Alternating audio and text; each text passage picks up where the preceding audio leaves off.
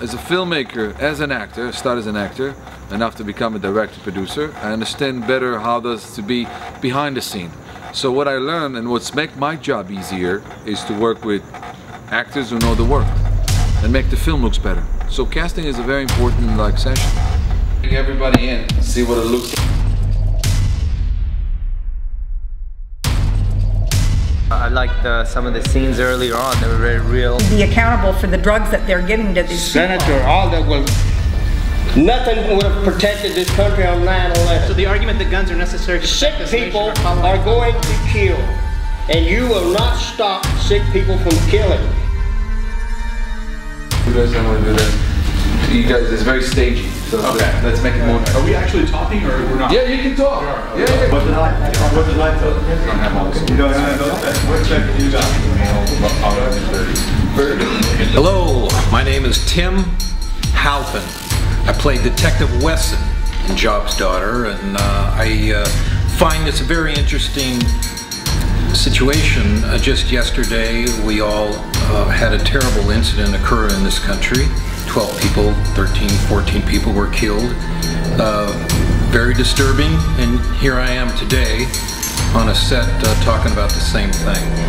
Uh, my past uh, life, I did indeed play a detective, was a detective, lived a detective. So thank you for the opportunity for playing this role. Uh, I'm very interested in this film. I am Tia Barr. I'm here on set and I'm playing Vivian Rose, who's a newscaster. Um, very, very great set, good energy. The director is very nice to work with, um, very on point, very focused, and we're having a great day out here. So today's my first day shooting and we are picking up at a crime scene and it's a really really sad crime scene. And it's it's good because you know this is happening all over not just America but all over the world. And this is what we're dealing with today is actually real. It's reality. We're making a film today but this is going on all over all the time. And so it's important to bring these sort of subjects to people's awareness and make people think and raise their children differently. Been a great day, working with some really great actors, and uh, everybody else is uh, really just nice to work with. So I'm happy to be here. The subject matter is a very um, moving uh, and emotional subject. It, it, it, it sparks a lot of heated debate, and, and I have my own passions about it as well. And it, it's, uh, it's, it's a tough subject.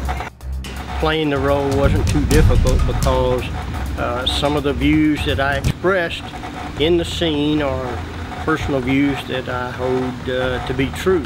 Well, I felt nervous at, at first, and then I started feeling like I did a good job.